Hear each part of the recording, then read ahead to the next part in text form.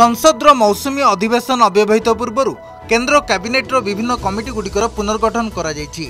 ଗୁରୁତ୍ୱପୂର୍ଣ୍ଣ cabinet committee on economic affairs ଏବଂ cabinet committee on employment and skill ଡେଭଲପମେଣ୍ଟରେ ସଦସ୍ୟ ରହିଛନ୍ତି ଧର୍ମେନ୍ଦ୍ର ପ୍ରଧାନ। ଏହି ଉଭୟ କମିଟି ପ୍ରଧାନମନ୍ତ୍ରୀ ନରେନ୍ଦ୍ର ମୋଦିଙ୍କ ଅଧ୍ୟକ୍ଷତାରେ କାମ କରିବ।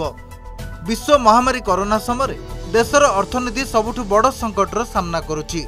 ଅର୍ଥନୀତିକୁ ଗତିଶୀଳ କରିବା ଏବଂ ଏଥିରେ ଦେଶର ଯୁବବର୍ଗଙ୍କୁ ରୋଜଗାର ସୁଯୋଗ ଉପଲବ୍ଧ କରାଇବା ଦେଶର ସବୁଠୁ ବଡ଼ ପ୍ରାଥମିକତା।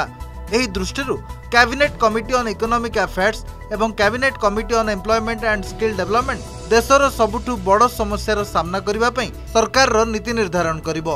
କ୍ୟାବିନେଟ୍ କମିଟି ଅନ୍ ଇକୋନୋମିକ୍ ଆଫେୟାର୍ସର ଅନ୍ୟ ସଦସ୍ୟମାନେ ହେଲେ ରାଜନାଥ ସିଂ ଅମିତ ଶାହ ନୀତିନ ଗଡ଼କରୀ ନିର୍ମଳା ସୀତାରମଣ ନରେନ୍ଦ୍ର ସିଂ ତୋମାର ଏସ୍ ଜୟଶଙ୍କର ଏବଂ ପୀୟୁଷ ଗୋୟଲ ପଲିଟିକାଲ ଆଫେୟାର୍ସ ବା ରାଜନୈତିକ ବ୍ୟାପାର କ୍ୟାବିନେଟ୍ କମିଟିରେ ସ୍ମୃତି ଇରାନୀ ଭୂପେନ୍ଦ୍ର ୟାଦବ ସର୍ବାନନ୍ଦ ସୋନୱାଲଙ୍କୁ ସାମିଲ କରାଯାଇଛି।